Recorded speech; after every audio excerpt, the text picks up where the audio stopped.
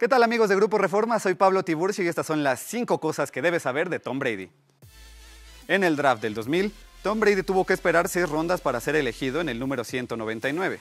Es decir, 31 franquicias de la NFL perdieron la oportunidad de firmar al coreback de la Universidad de Michigan hasta que los Patriotas lo seleccionaron en la última ronda. En total, 6 quarterbacks fueron elegidos antes que él, aunque ninguno de ellos ganó un solo supertazón.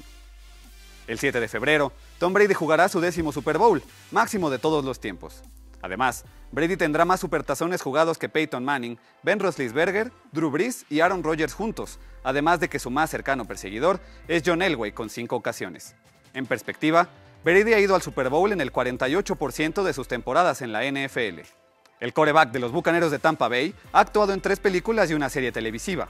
Su última aparición fue en la película Ted 2, filmada en el 2015, donde actúa de él mismo y es adulado por tener la genética perfecta, imagen que su familia ha ayudado a construir.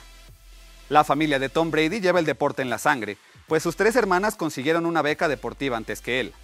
Maureen Brady, la hermana mayor, fue becada por Fresno State para jugar softball, mientras que Julie Brady consiguió la beca para jugar fútbol con St. Mary's.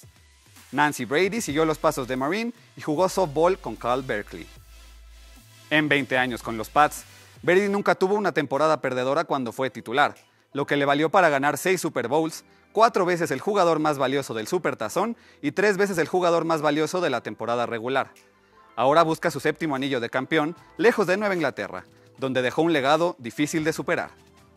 Así que ya lo sabes, no te pierdas cada detalle del Supertazón 55 a través de todas las plataformas de Grupo Reforma. Hasta la próxima.